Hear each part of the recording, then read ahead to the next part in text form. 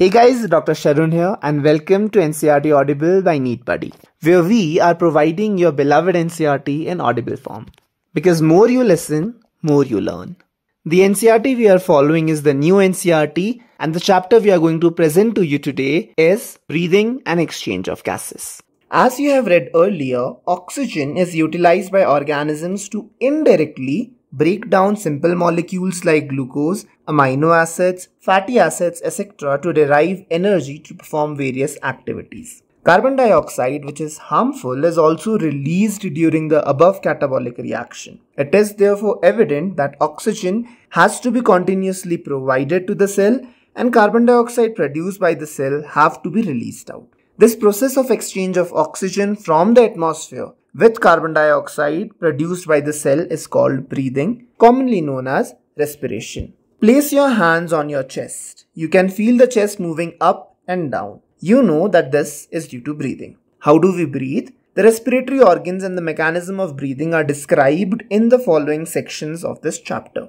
17.1 Respiratory Organs Mechanism of breathing vary among different groups of animals depending mainly on their habitat and level of organization. Lower invertebrates like sponges, coelenterates, flatworms, etc. exchange oxygen with carbon dioxide by simple diffusion over the entire body surface. Earthworms use their moist cuticle and insects have a network of tube, tracheal tubes to transport atmospheric air within the body. Special vascularized structures called gills, branchial respiration, are used by most of the aquatic arthropods and mollusks, whereas vascularized bag called lungs, pulmonary respiration are used by terrestrial forms for exchange of gases. Among vertebrates, fishes use gills, whereas amphibians, reptiles, birds, and mammals respire through lungs. Amphibians, like frogs, can respire through their moist skin, cutaneous respiration also human respiratory system. We have a pair of external nostrils opening out above the upper lips. This leads to a nasal chamber through the nasal passage. The nasal chamber opens into the pharynx, a portion of which is common passage for food and air. The pharynx opens through the larynx region into the trachea. Larynx is a cartilaginous box which helps in sound production and hence is called sound box. During swallowing, glottis can be covered by a thin elastic cartilaginous flap called epiglottis to prevent entry of food into the larynx. Trachea is a straight tube extending up to the mid-thoracic cavity which divides at the level of fifth thoracic vertebrae into right and left primary bronchi.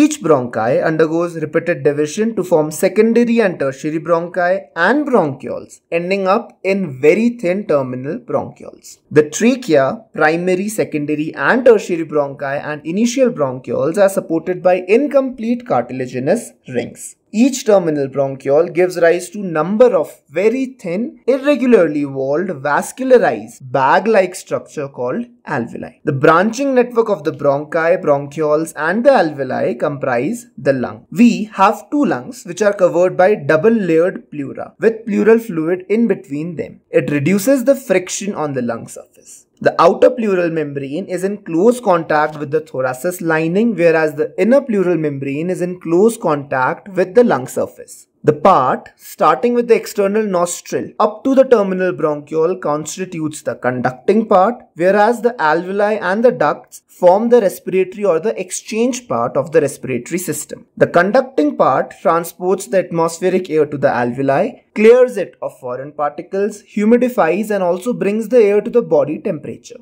Exchange part is the site of actual diffusion of oxygen and carbon dioxide between blood and atmospheric air.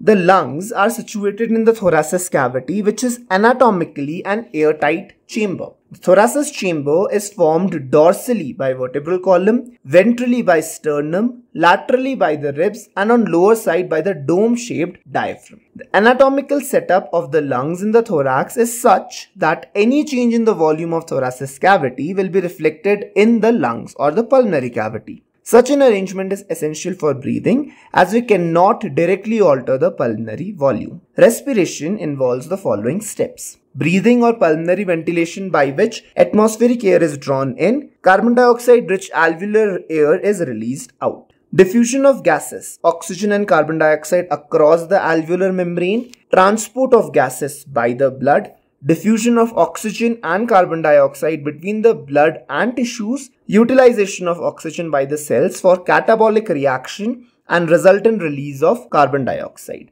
Cellular respiration has been dealt in chapter 14 separately. Section 17.2 Mechanism of breathing. Breathing involves two stages. Inspiration, during which the atmospheric air is drawn in, and expiration by which the alveolar air is released out. The movement of the air into and out of the lung is carried out by creating a pressure gradient between the lungs and the atmosphere. Inspiration can occur if the pressure within the lung, intrapulmonary pressure, is less than the atmospheric pressure. That is, there is a negative pressure in lung with respect to the atmospheric pressure. Similarly, expiration takes place when the intrapulmonary pressure is higher than the atmospheric pressure. The diaphragm and the specialized set of muscles, external and internal intercostal between the ribs, help in generation of such gradients. Inspiration is initiated by contraction of diaphragm, which increases the volume of thoracic chamber in anteroposterior axis. Contraction of external intercostal muscles lifts up the ribs and the sternum, causing an increase in the volume of thoracic chamber in dorsoventral axis. The overall increase in the thoracic volume causes a similar increase in the pulmonary volume. An increase in the pulmonary volume decreases the intrapulmonary pressure to less than the atmospheric pressure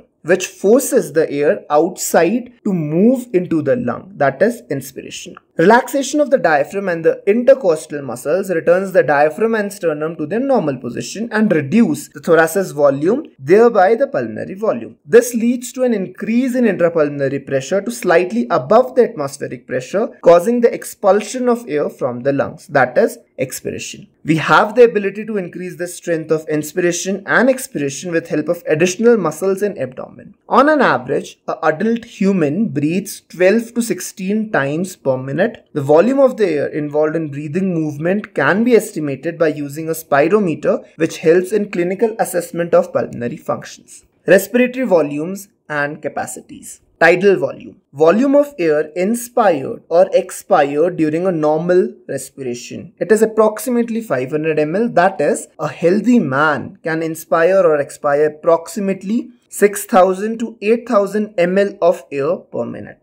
Inspiratory reserve volume. Additional volume of air a person can inspire by forceful inspiration. This averages 2500 ml to 3000 ml. Expiratory reserve volume. Additional volume of air that a person can expire by a forceful expiration. This averages 1000 to 1100 ml. Residual volume. Volume of air remaining in lung even after a forcible expiration. This averages to around 1100 to 1200 ml. By adding up a few of respiratory volumes described above, one can derive various pulmonary capacities which can be used in clinical diagnosis. Inspiratory capacity, total volume of air a person can inspire after normal expiration. This includes the tidal volume and inspiratory reserve volume. Expiratory capacity, total volume of air a person can expire after normal inspiration. This includes tidal volume and the expiratory reserve capacity. Functional residual volume, Volume of air that remains in the lung after normal expiration. It includes the expiratory reserve volume with residual volume. Vital capacity. The maximum volume of air a person can breathe in after a forced expiration. This includes the expiratory reserve volume, the tidal volume and the inspiratory reserve volume or maximum volume of air a person can breathe out after forced inspiration. Total lung capacity. Total volume of air accommodated in the lung at end of a forced inspiration. This includes the residual volume, expiratory reserve volume, tidal volume and inspiratory reserve volume or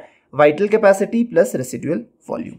Section 17.3 Exchange of gases. Alveoli are the primary site for the exchange of gases. Exchange of gases also occurs between blood and tissues. Oxygen and carbon dioxide are exchanged in these sites by simple diffusion, mainly based on pressure or concentration gradient. Solubility of gases as well as the thickness of the membrane involved in the diffusion are also some important factors that can affect the rate of diffusion. Pressure contributed by an individual gas in a mixture of gases is called partial pressure and is represented as PO2 for oxygen, PCO2 for carbon dioxide. Partial pressures of these gases in the atmospheric air and the two sites of diffusion are given as follows. Oxygen partial pressure in atmospheric air is 159, in alveoli is 104, deoxygenated blood 40, oxygenated blood 95 and tissues 40. For carbon dioxide, atmospheric air 0.3, alveoli 40 mm of mercury, deoxygenated blood 45,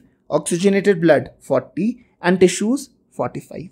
The data given in the above table clearly indicates a concentration gradient for oxygen from alveoli to blood and blood to tissues. Similarly, a gradient is present for carbon dioxide in opposite direction that is from tissues to blood and blood to alveoli. As the solubility of the carbon dioxide is 25 times higher than that of oxygen, the amount of carbon dioxide that can diffuse through the diffusion membrane per unit difference in the partial pressure is much higher compared to that of oxygen. The diffusion membrane is made up of three major layers, namely the thin squamous epithelium of the alveoli, the endothelium of the alveolar capillaries, and the basement membrane composed of the thin basement membrane supporting the squamous epithelium and basement membrane surrounding the single layer endothelial cells of the capillaries in between them. However, its total thickness is even less than a millimeter. Therefore, all the factors in our body are favorable for diffusion of oxygen from alveoli to tissues and that of carbon dioxide from tissues to the alveoli. Section 17.4 Transport of gases. Blood is the medium of transport for oxygen and carbon dioxide. About 97% of oxygen is transported by RBC in the blood. The remaining 3% of oxygen is carried in dissolved state through the plasma. Nearly 20 to 25% of carbon dioxide is transported by RBC, whereas 70% of it is carried as bicarbonate. 7% of carbon dioxide is carried in dissolved state. Transport of oxygen. Hemoglobin is a red colored iron containing pigment present in RBCs. Oxygen can bind to hemoglobin in a reversible manner to form oxyhemoglobin. Each hemoglobin molecule can carry a maximum of 4 molecules of oxygen. Binding of oxygen with hemoglobin is primarily related to partial pressure of oxygen, partial pressure of carbon dioxide, hydrogen ion concentration and temperature are the other factors that can interfere with this binding. A sigmoid curve is obtained when percentage saturation of hemoglobin with oxygen is plotted against the partial pressure of oxygen. This curve is called oxygen dissociation curve and is highly useful in studying effect of factors like partial pressure of carbon dioxide, H plus ion concentration, etc. on binding of oxygen to hemoglobin. In alveoli, where there is high partial pressure of oxygen, low partial pressure of carbon dioxide, lesser H plus ion concentration and lower temperature, the factors are all favorable for formation of oxyhemoglobin. Whereas in the tissues, where low partial pressure of oxygen, high partial pressure of carbon dioxide, high H plus ion concentration and higher temperature exist, the conditions are favorable for dissociation of oxygen from oxyhemoglobin. This clearly indicates oxygen gets bound to hemoglobin in the lung surface and gets dissociated at tissues. Every 100 ml of oxygenated blood can deliver around 5 ml of oxygen to the tissues under normal physiological conditions. Transport of carbon dioxide. Carbon dioxide is carried by hemoglobin as carbamino hemoglobin about 20 to 25%.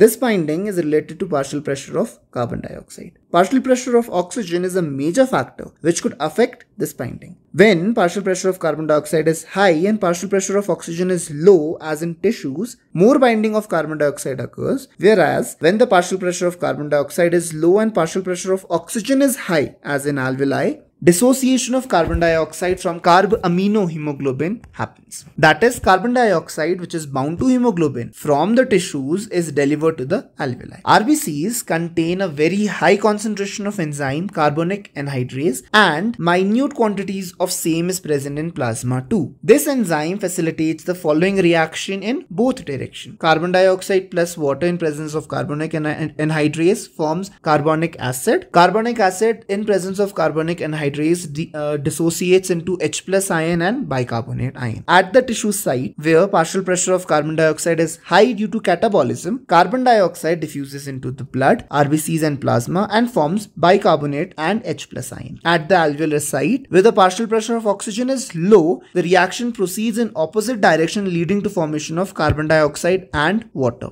Thus, carbon dioxide trapped as bicarbonate at the tissue level and transported to the alveoli and is released out as carbon dioxide. Every 100 ml of deoxygenated blood delivers approximately 4 ml of carbon dioxide. Regulation of respiration. Human beings have a significant ability to maintain and moderate respiratory rhythm to suit the demand of the body tissues. This is done by neural system. A specialized center present in medulla region of the brain called the respiratory rhythm center is primarily responsible for this regulation. Another center present in pons region of the brain called the pneumotaxic center can moderate the function of respiratory rhythm center. Neural signals from this center can reduce the duration of inspiration and thereby alter respiratory rate. A chemosensitive area is situated adjacent to the rhythm center which is sensitive to carbon dioxide and hydrogen ion. Increase in these substances can activate this center, which in turn can signal the rhythm center to make necessary adjustments in the respiratory process by which these substances can be eliminated. Receptors associated with aortic arc and carotid artery can also recognize changes in carbon dioxide and H plus concentration and send necessary signals to rhythm center for remedial action. The role of oxygen in the regulation of respiratory rhythm is quite insignificant. Disorders of respiratory system. Asthma. Asthma is a difficult difficulty in breathing causing wheezing due to inflammation of bronchi and bronchioles. Emphysema is a chronic disorder in which alveolar wall are damaged due to which respiratory surface is decreased. One of the major causes is cigarette smoke. Occupational respiratory disorder. In certain industries, especially those involving grinding and stone breaking, so much dust is produced that the defense mechanism of body cannot fully cope with the situation. Long exposure can give rise to inflammation leading to fibrosis, proliferation of fibrous tissue and thus causing serious lung damage. Workers in such industries should wear protective masks. Hope you found the Audible NCERT helpful. I'll see you guys in the next episode. Till then, all the best and keep working hard. It's me, Dr. Sharun, signing off.